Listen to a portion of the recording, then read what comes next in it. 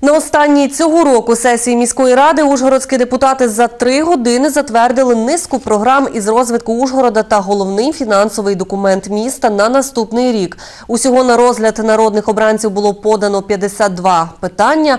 Із подробицями Наталія Качмар. Усі питання, винесені на сесію, спочатку вивчалися у профільних комітетах, тому більшість проєктів депутати приймали одноголосно і оперативно. Першим каменем спотикання стало земельне питання. Його підігріли демобілізовані учасники АТО, які прийшли з'ясувати законність виділення ділянок військовослужбовцям. Вони вимагають інформацію про кожного, кому дали землю з початку проведення АТО. Це загалом 577 ділянок, при тому, що зареєстрованих у військкоматі учасників бойових дій набагато менше. Ми хотіли е, і військкомат задати питання. Дайте нам інформацію, кому ви дали земельні ділянки. Тому що це тут немає нічого секретного. Чесно, пожалуйста, все. Нічого такого немає. Ми ж постійно даємо ці документи.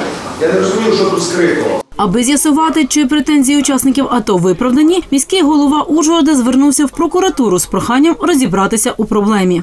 Я е, позавчора звернувся з листом до е, місцевої прокуратури з метою перевірки надання всіх земельних ділянок учасникам АТО з 2014 року по 2016 рік.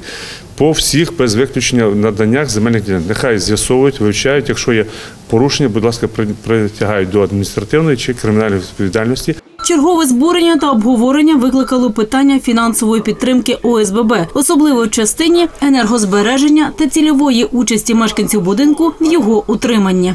Я би запропонував, наша комісія вносила критичні зауваження. Це змінити відсоткові ставки співфінансування, змінити 50% на 15, 40 на 10. І для проєктів ОСББ, що приймають участь у проєкті програм місцевий розвиток орієнтований на програму у розмірі 5% змінити на 10. Це ми трошки збільшуємо е, співучасть на 5%. Я думаю, що так було найкраще.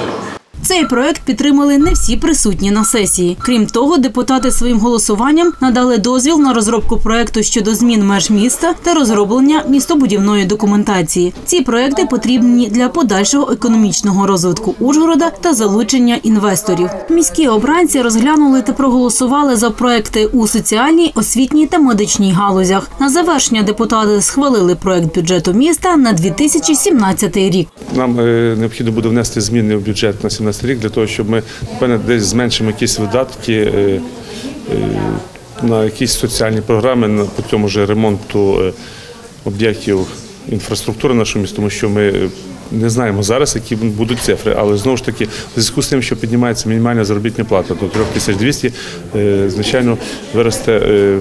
Податок з доходів фізичних осіб, і ми побачимо, скільки коштів місто зможе отримати в 2017 році. Сесія закінчилась, проекти затверджені, бюджет прийнято. Депутати зберуться у цій залі вже наступного року.